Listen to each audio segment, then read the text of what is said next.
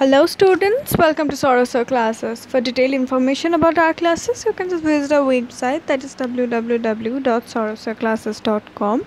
And for other doubts and queries, you can call us or WhatsApp us at this number 9836793076.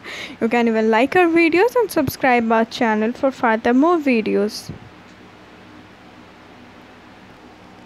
Today we are solving some problems on work, power and energy and our first question is a bob of mass m here the mass is m is suspended by a massless string of length l. Length is l. The horizontal velocity v at position a is just sufficient to make it reach the point b. The angle theta at which the speed of the bob is half of that at A.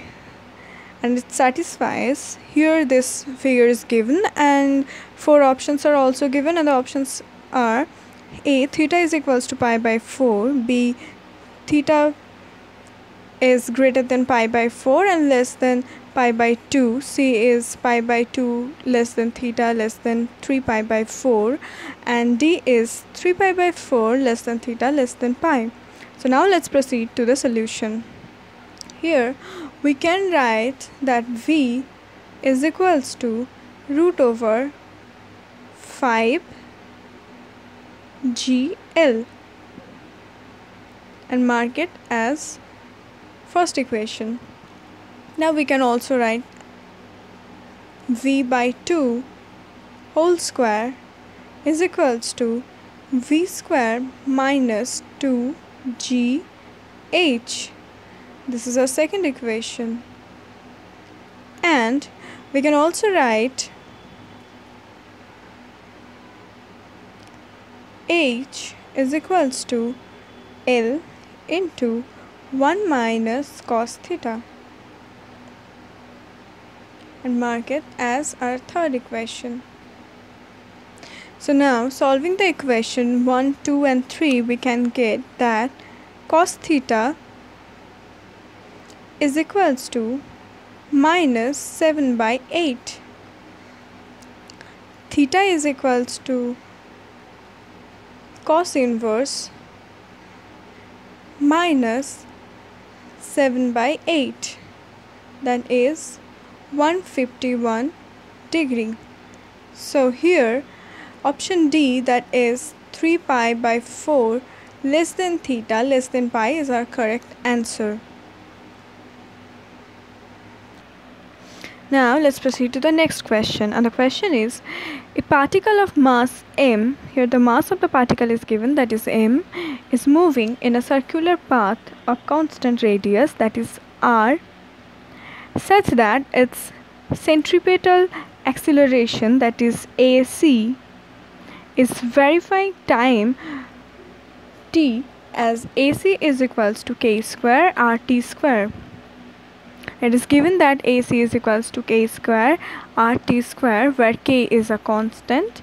The power delivered to the particle by the force acting on it is and four options are given and the options are 2 pi m k square r square second option is m k square r square t third is m k to the power 4 r square t to the power 5 whole divided by 3 and d is 0 now it's a very important question and we can see that it was in 1994's paper.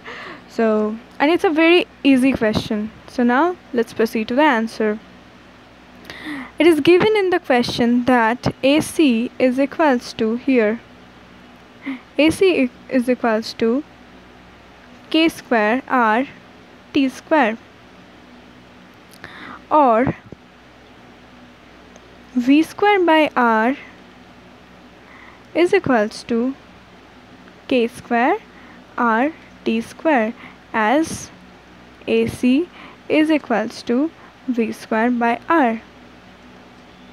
Or we can rewrite it as v is equals to k r t. Therefore the tangential acceleration that is at is equals to dv by dt that is equals to kr or the force Ft is equals to m at that is equals to m kr only the tangential force does work here so we can write that power that is Ft into V is equals to M KR. We are just putting the value of Ft and V. So it is MKR into KRT. Or we can say that the power is equals to m k square r square t. So here option b that is m k square r square t is the correct answer